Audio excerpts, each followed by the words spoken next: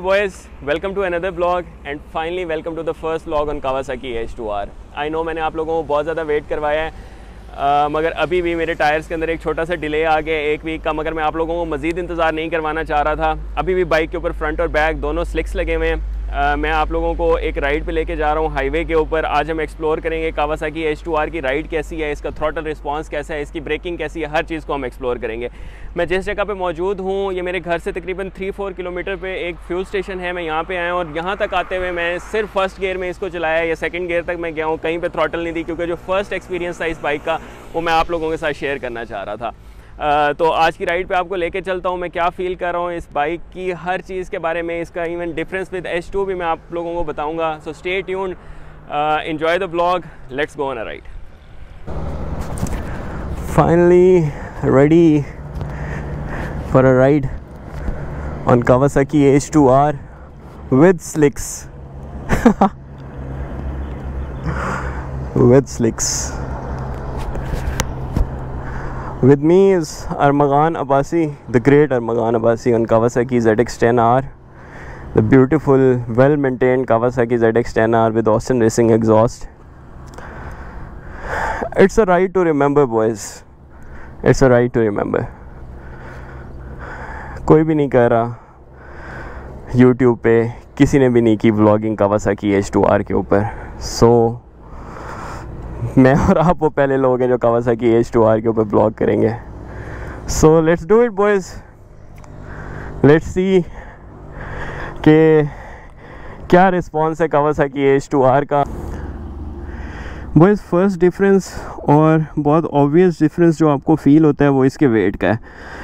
Kawasaki H two R is forty K G lighter then कावासा की H two तो forty K G bikes के लिए बहुत ज़्यादा होता है। तो काफ़ी ज़्यादा लाइट वेट है इसको मनूवर करने में। इवन मैंने अभी स्टार्ट भी नहीं किया मनूवर करने से ही आपको फील हो जाता है कि it's very light a lot of carbon fibre parts carbon fibre frame makes it a lot lighter so let's go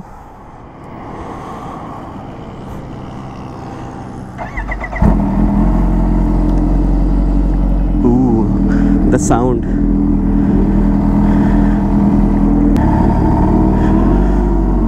थोड़ा आराम से शुरू करते हैं राइड।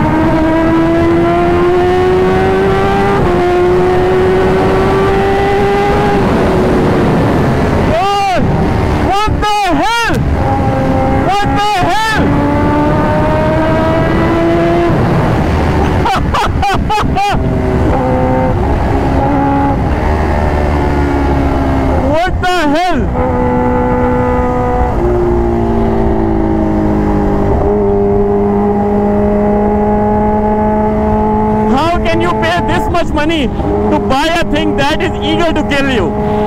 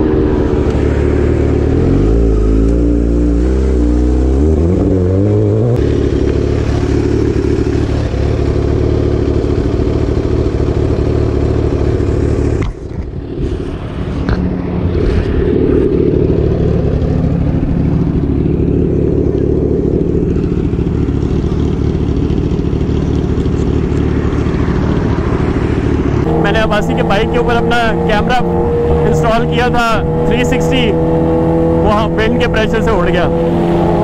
खैर, आगे चलते हैं। नो प्रॉब्लम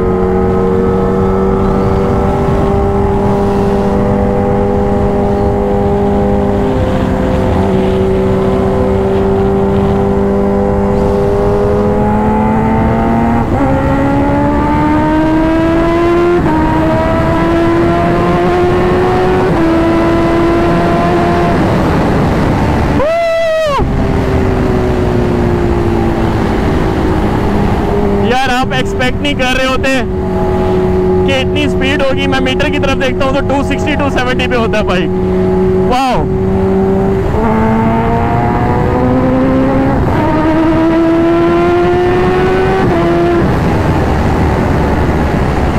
response, यार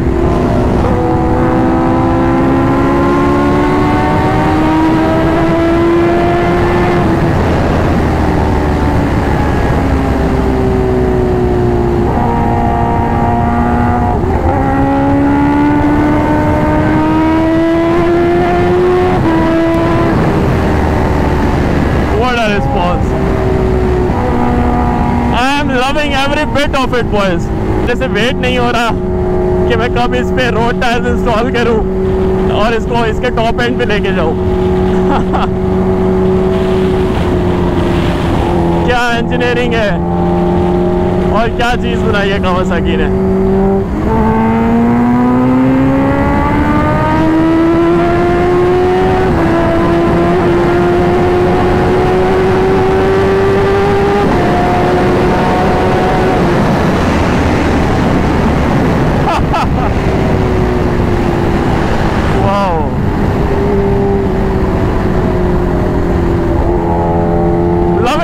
Loving it.